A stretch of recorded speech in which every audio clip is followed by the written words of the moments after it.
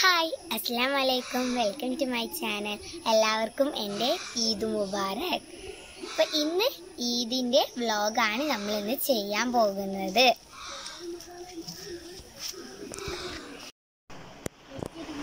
പിതൃസക്കാത്തിന്റെ അറിയി കൊടുക്കാൻ പോവാണ്. മാസ്ക് ഇട്ടിട്ട് പുറത്തു പോവാൻ പാടുള്ളൂ.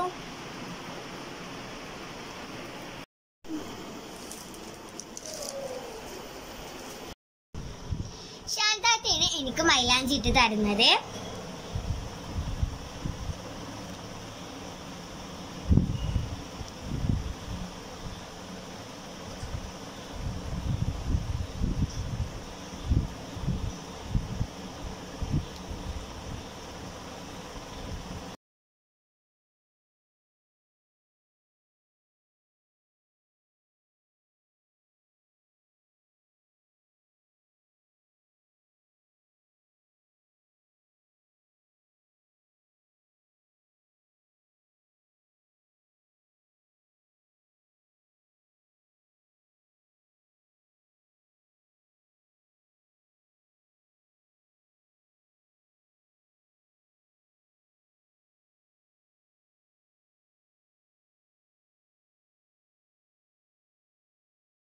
അല്ലാഹു അക്ബർ അല്ലാഹു അക്ബർ. അല്ലാഹു അക്ബർ ലാ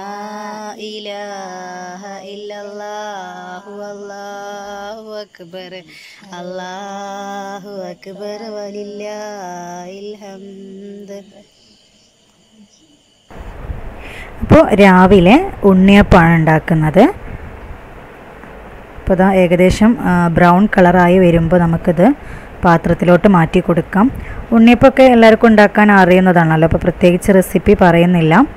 അപ്പോൾ ഇതാ ഏകദേശം റെഡി ആയിട്ടുണ്ട്. വളരെ കുറച്ച് മാത്രമേ ഉണ്ടാക്കിയിട്ടുള്ളൂ. നമ്മൾ പെരുന്നാൾ സമയത്ത് ദോശ അങ്ങനെയുള്ള ബ്രേക്ക്ഫാസ്റ്റ് ഒന്നും ഉണ്ടാക്കില്ല. സാധാരണ ഒന്നുകിൽ ഉണ്ണിയപ്പം അല്ലെങ്കിൽ പഴം പൊരിക്കുക അങ്ങനെയൊക്കെയാണ് ചെയ്യാം. ഇനി നമ്മൾ ഉച്ചയ്ക്കൊക്കെ ഉണ്ടാക്കാൻ പോകുന്നത് നല്ല ബീഫ് മന്തിയാണ്. അപ്പോൾ അതിനിതാ ഞാനിവിടെ ഒരു കിലോ ബീഫാണ് എടുത്തിട്ടുള്ളത്. കുറച്ച് വലിയ പീസാക്കിയിട്ട് കട്ട് ചെയ്യണം കേട്ടോ കട്ട് ചെയ്ത് നല്ലോണം കഴുകിയിട്ട് വെള്ളമൊക്കെ ഊറ്റി മാറ്റി വെച്ചിട്ടുണ്ട്. ഇനി അതിലോട്ട് ചെറുതായിട്ട് അരിഞ്ഞ ക്യാപ്സിക്കം ഒരു ഒന്നര ക്യാപ്സിക്കം ഞാൻ എടുത്തിട്ടുണ്ട്. ചെറിയ പീസാക്കി നന്നായിട്ട് ചെറുതാക്കണം കേട്ടോ. അങ്ങനെ കട്ട് ചെയ്തതാണ്. അതുപോലെ തന്നെ മല്ലിയില കുറച്ച് ഒരു രണ്ട് മൂന്ന് ഇല പുതിന ഉണ്ട്. ബാക്കിയൊക്കെ മല്ലിയിലയാണ്. അതും നന്നായിട്ട് ചെറുതാക്കി അരിയണം. അതും കൂടി ഇട്ട് കൊടുക്കുക. അതിനുശേഷം മാഗി ക്യൂബാണ്. ഞാൻ രണ്ട് മാഗി ക്യൂബാണ് ഇവിടെ എടുത്തിട്ടുള്ളത്. അത് നമ്മൾ കൈ വെച്ചിട്ടൊന്ന് ഒന്ന് ഞരടിയിട്ട് ഇട്ട് കൊടുക്കാം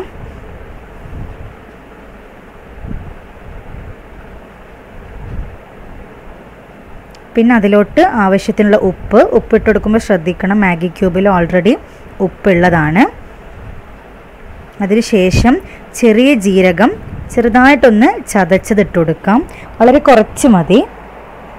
പിന്നെ ഒരു കപ്പ് ഒരു കപ്പ് വേണ്ട ഒരു അര കപ്പ് സൺഫ്ലവർ ഓയിൽ നമ്മൾ ബീഫിൽ ഓൾറെഡി നെയ്യൊക്കെ ഉണ്ടാവും അതുകൊണ്ട് അര കപ്പ് മതി.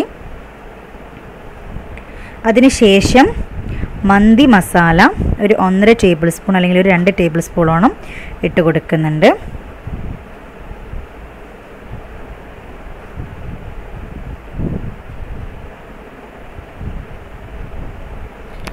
ഇനി കൈ വെച്ച് നന്നായിട്ട് എല്ലാ ഭാഗത്തോട്ടും എത്തുന്ന രീതിയിൽ കൈ വെച്ചിട്ട് നന്നായിട്ടൊന്ന് യോജിപ്പിക്കാം.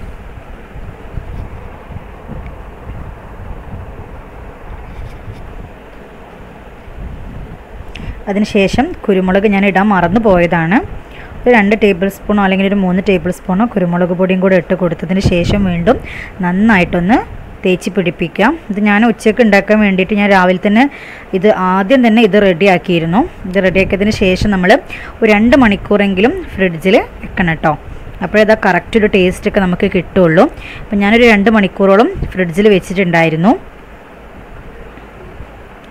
അടച്ചിട്ട് ഫ്രിഡ്ജിലോട്ട് മാറ്റാം. അപ്പോഴേക്കും നമുക്ക് ഇനി ഞാനത് പായസമാണ് കേട്ടോ ഉണ്ടാക്കുന്നത്. അതിന് ഞാൻ ഫസ്റ്റ് ഇവിടുത്തെ സാവുനരി വേവിക്കാൻ വെച്ചിട്ടുണ്ട്. പിന്നെ അതുപോലെ തന്നെ നമ്മളിതാ അരി സെല്ല റൈസാണ് വൈറ്റ് സെല്ല റൈസാണ് ഞാനിവിടെ എടുത്തിട്ടുള്ളത്. ഒരു കിലോ റൈസാണ് അപ്പോൾ ഇതൊന്ന് നമുക്ക് രണ്ട് മണിക്കൂർ വെള്ളത്തിലിട്ട് കുതിർത്ത് വെക്കണം. അപ്പോഴാണ് ആ കറക്റ്റ് സോഫ്റ്റ് നമ്മളുടെ ആ റൈസിന് കിട്ടുള്ളൂ കേട്ടോ. അപ്പോൾ അത് വെള്ളത്തിലിട്ട് വെച്ചിട്ടുണ്ട്. അപ്പോഴേക്കും നമ്മളുടെ പായസത്തിന്റെ കാരമലൈസ് ചെയ്യണം ഞാനിത്. പഞ്ചസാര മാത്രമാണ് പഞ്ചസാരയും കുറച്ച് വെള്ളം കൂടെ ഒഴിച്ച് കൊടുത്തിട്ട് ഒന്ന് ബ്രൗൺ കളറാക്കി റെഡിയാക്കി വെച്ചിട്ടുണ്ട്. അതിനുശേഷം ഇത് നമ്മൾ തീ ഒന്ന് ഓഫ് ചെയ്യണം കേട്ടോ ചൂടാറിയതിന് ശേഷമാണ് നമുക്ക് ഇതിലോട്ട് പാൽ ഒഴിച്ചു കൊടുക്കേണ്ടത്. ചൂടോടെ ഒഴിച്ചു കൊടുത്താൽ ചിലപ്പോൾ പാൽ പിരിയാനുള്ള സാധ്യത ഉണ്ട്. അതുകൊണ്ട് ഞാനിവിടെ ഗുഡ് ലൈഫിന്റെ പാലാണ് യൂസ് ചെയ്യുന്നത്. എന്നിട്ട് ഒഴിച്ചു കൊടുക്കാം ഇതിലോട്ട്. അതിനുശേഷം നന്നായിട്ടൊന്ന് ഇളക്കി കൊടുക്കാം.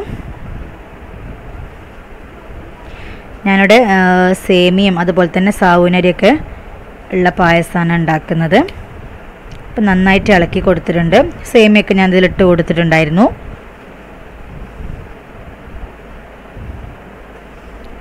നല്ല വറുത്ത സേമിയാണ് ഇട്ട് കൊടുത്തിട്ടുള്ളത്. അപ്പോൾ ഈ പായസത്തിന് ഈ ഒരു കളർ ആവാനുള്ള കാരണം നമ്മളത് കാരമലൈസ് ചെയ്തതുകൊണ്ടാണ് കേട്ടോ. അല്ലെങ്കിൽ നല്ല വൈറ്റ് കളറാണ് ഉണ്ടാവുക. അപ്പോൾ ഞാൻ ഇത് ഫസ്റ്റ് ടൈമാണ് കേട്ടോ ഇങ്ങനെ ഉണ്ടാക്കുന്നത്. പക്ഷേ എനിക്ക് ഒത്തിരി ഇഷ്ടമായി അതുപോലെ തന്നെ ഇതിന്റെ കളറും നല്ല ഇഷ്ടമായി കേട്ടോ. ഇനി ഇതിലോട്ട് മിൽക്ക് മെയ്ഡ് ഒഴിച്ച് കൊടുക്കുന്നുണ്ട്. അതുപോലെ തന്നെ സാവുനരി വേവിച്ചത് ഇട്ട് കൊടുത്തിട്ടുണ്ട്. അത് ഞാനങ്ങനെ ഡീപ്പായിട്ട് കാണിക്കുന്നില്ല റെസിപ്പി ഒന്നും കാണിക്കുന്നില്ല. പിന്നെ ഇതാ തേങ്ങാക്കൊത്ത് അതുപോലെ തന്നെ അണ്ടിപ്പരിപ്പ് മുന്തിരി ഒക്കെ നെയ്യിൽ വറുത്തിട്ട് അതും കൂടെ ഇട്ട് കൊടുത്തിട്ടുണ്ട്. അപ്പോൾ നമ്മുടെ പായസം ഇവിടെ ഏകദേശം റെഡി ആയിട്ടുണ്ട് കേട്ടോ അപ്പോഴേക്കും നമ്മളുടെ ബീഫ് ഇതാ ഫ്രിഡ്ജിൽ നിന്ന് ഞാൻ എടുത്തിട്ടുണ്ട്. ഇപ്പോൾ രണ്ട് മണിക്കൂറായിട്ടോ നല്ല സെറ്റായി. ഞാൻ കുക്കറിലാണ് ബീഫ് വേവിക്കുന്നത്. ചിക്കൻ ആണെങ്കിൽ നമുക്ക് കുക്കറിലൊന്നും ഇടേണ്ട ആവശ്യമില്ല. പക്ഷെ നമുക്ക് ബീഫ് ആയതുകൊണ്ട് തന്നെ അത് എന്തായാലും കുക്കറിലിട്ടിട്ട് കുറച്ച് വേവാൻ ഇത്തിരി പണി വിട്ടു കേട്ടോ ഒരുപാട് ടൈം എടുത്തു എനിക്ക് ബീഫ് വേവാൻ. അപ്പോൾ ബീഫ് കുക്കറിൽ ഇട്ട് കൊടുത്തതിന് ശേഷം ആ പാത്രത്തിൽ ഒരു അര ഗ്ലാസ് വെള്ളം ഒഴിച്ചിട്ട് ഒന്ന് ചുറ്റിച്ചിട്ട് അതിലേക്ക് ഒഴിച്ചു കൊടുക്കാം. കൂടുതൽ വെള്ളത്തിന്റെ ആവശ്യമില്ല. അപ്പോഴേക്കും നമ്മളുടെ റൈസ് ഇവിടെ റെഡിയാക്കി എടുക്കണം. അപ്പോൾ ഒരു സ്റ്റൗവിൽ ഞാൻ കുക്കറും വെച്ചു. അടുത്ത സ്റ്റൗവിൽ അരി വേവിക്കാനുള്ള വെള്ളം കുറച്ച് കൂടുതൽ വെള്ളം വേണം. അതിലോട്ട് ഉപ്പ് അതുപോലെ തന്നെ ഉണങ്ങിയ നാരങ്ങ കറുവാപ്പട്ട ഏലക്ക ഇതൊക്കെ ഇട്ട് കൊടുത്തിട്ടുണ്ട്. അപ്പോൾ ഏകദേശം വെള്ളം ചൂടായി വരുമ്പോൾ അതിലേക്ക് ഒരു സ്പൂണ് മന്തി മസാല ഇട്ട് കൊടുത്തിട്ട് നിർബന്ധമില്ല. അത് ഇഷ്ടമുള്ളവർ മാത്രം ചെയ്താൽ അതുപോലെ നമുക്ക് വെള്ളത്തിലോട്ട് മാഗി ക്യൂബൊക്കെ ഇട്ട് കൊടുക്കാം. ഞാൻ അതൊന്നും ഇട്ട് കൊടുത്തിട്ടില്ല. അതൊക്കെ ഓപ്ഷണലാണ് വെള്ളം ഒന്ന് ഏഹ്, തിളച്ച് വരട്ടെ. അപ്പോഴേക്കും നമ്മളിതാ വിസിലിങ്ങനെ വരുന്നുണ്ട്. വെള്ളം ഏകദേശം തിളക്കാനായി തുടങ്ങിയപ്പം ഒരു രണ്ട് ടേബിൾ സ്പൂൺ സൺഫ്ലവർ ഓയിൽ ഒഴിച്ചു കൊടുക്കാം. അതിന് ശേഷം നമുക്കിതാ ഞാനിവിടെ അരി കുതിർത്തത് ഊറ്റി മാറ്റി വെച്ചിട്ടുണ്ട് അതിട്ട് കൊടുക്കാം. അപ്പോൾ ഇതാ ബീഫ് കണ്ടല്ലോ?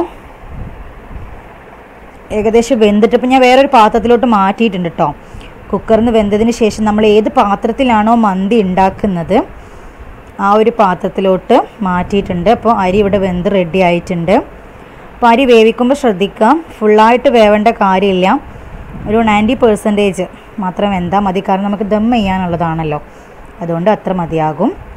അപ്പോൾ ബീഫ് ഏകദേശം റെഡി ആയിട്ടുണ്ട്. അപ്പോൾ നമുക്ക് എന്ത് ചെയ്യാം? തീയൊക്കെ ഓഫാക്കിയതിന് ശേഷം ഇതിന്റെ മുകളിലോട്ട് റൈസ് ഇട്ട് കൊടുക്കാം. അതിന് ശേഷം കുറച്ച് മഞ്ഞൾപ്പൊടി അതിലേക്ക് ഇത്തിരി വെള്ളം ഒഴിച്ചിട്ട് ഒരു കളറിന് വേണ്ടിയിട്ട് കേട്ടോ ഫോട്ടോയിലേക്ക് ഭംഗി കിട്ടാൻ വേണ്ടിയിട്ടാണ്. അതുപോലെ തന്നെ ചിക്കന്റെ കളർ ഉണ്ടായിരുന്നു റെഡ് കളർ ഉണ്ടായിരുന്നു. അതും കൂടെ ഞാൻ വെള്ളത്തിൽ ഇത്തിരി കലർത്തിയിട്ട് അതും കൂടെ ഒഴിച്ചു കൊടുത്തിട്ടുണ്ട്.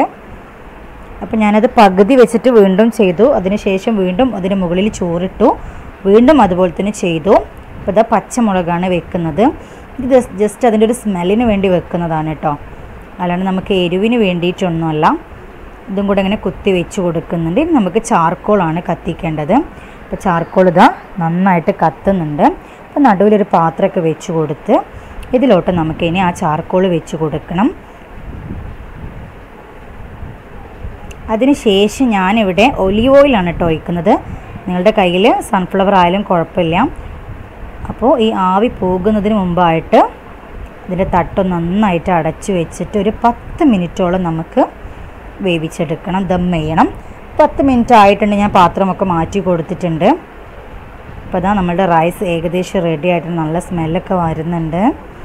ഇനി നമുക്ക് ഒന്നായിട്ട് നന്നായിട്ട് അടിയിലൊന്ന് മിക്സ് ചെയ്യണം കേട്ടോ.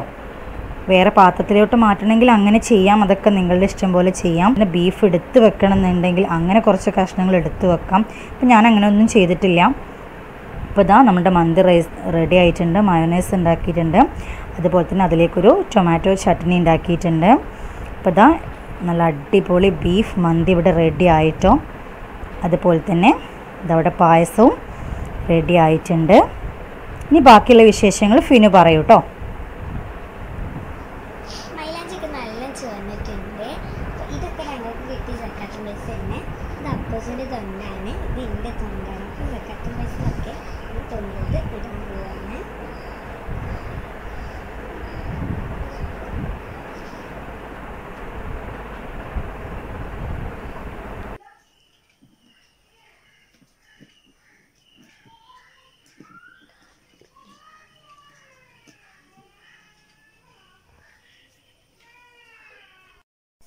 ഇത് മാമിന് എടുത്തു തന്ന ഡ്രസ്സാണ്. അപ്പൊ എല്ലാവരും ലൈക്ക് ചെയ്യുക ഷെയർ ചെയ്യുക സബ്സ്ക്രൈബ് ചെയ്യുക. അപ്പോൾ ബായ് എങ്ങോട്ട് നോക്കി പത്ത് சொல்லி